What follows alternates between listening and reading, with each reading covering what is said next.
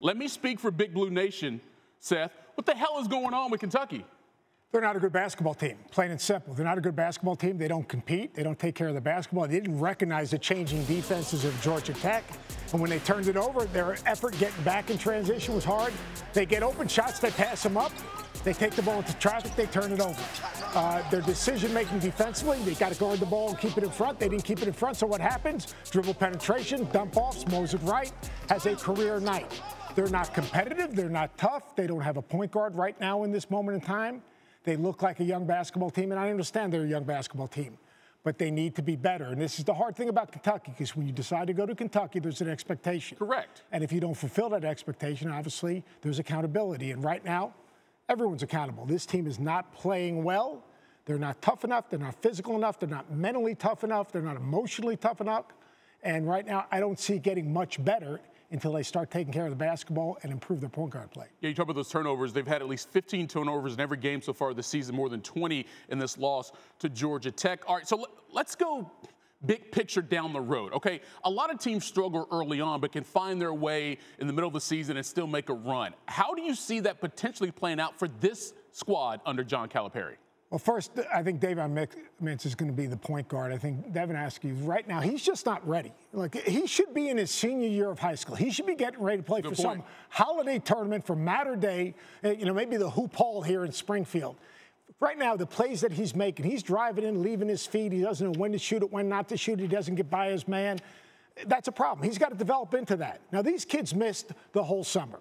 Yep. Uh, basically, they were in quarantine. They missed the opportunity. So were all the other programs too, no though, doubt Seth. about it. But they're not starting all these freshmen and these first-year players.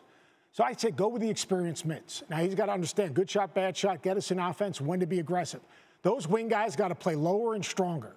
I, I look at Terrence Clarke. I look at, at Boston. They're very good prospects. Now they've got to become players. They've got to become winning players. You can't you know, just because you have talent doesn't mean you're a winning player. It means you're a talented guy that has the potential to be a winning player. Right. What is a winning player? a guy that doesn't take plays off, the guy that drives it is strong and is on balance, and knows the difference between being open and then making a play, and a guy that understands how to make the next pass. And then when he makes a mistake, who can convert down the other end, all right, and compete defensively. They stopped competing defensively. They didn't recognize defenses. Like Georgia Tech did a nice job of changing defenses. You've got to recognize defense. Did a poor job of that. And then up front, now look, look at these decisions these guys make on drives. Right, here's a contested shot, boom, wide open three. Dribble penetration. Here Moses attacks the closeout. That Jackson can't happen. Beat. You got to stay between the ball and the basket. Everyone teaches in high school. Stay between the ball and the basket. Lane's closeout, wide open three. The inability to defend the basketball. If you can't defend the ball, you can't defend.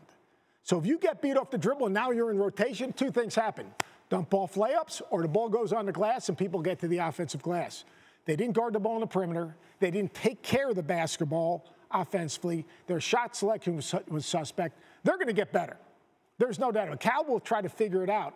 But now they've got two problems. They got to get better in terms of their ability and their mm-hmm. understanding of college basketball. And now, self doubt. Yeah. Because these guys thought, here's the deal, Michael, and you, you follow it. These guys think you go from high school to college, it's easy. They watch it on TV, go, yeah, I can do that. That jump from high school to college is really hard learning how to compete, learning how to play with other good players, understanding that now these scouting reports are sophisticated, they're taking away what you do well. It's a lot more physical. You take a play off, you get exposed. You take a bad shot, and it's a transition play the other day. Right. These other guys you're playing against, they're preparing for the game. They're on scholarship also. They have expectations also. So the mental aspect for John Calipari is as important as anything else he's doing. Getting him to understand how hard you got to play, how competitive you have to be, but also massaging their egos. Yeah. That's hard. Hey, several days ago, Calipari tried to tell Kentucky fans this is going to be a rough stretch based on their schedule. I think even the most pessimistic UK fan did not think they would be one and three. Thank you for watching ESPN on YouTube. For live streaming sports and premium content, subscribe to ESPN Plus.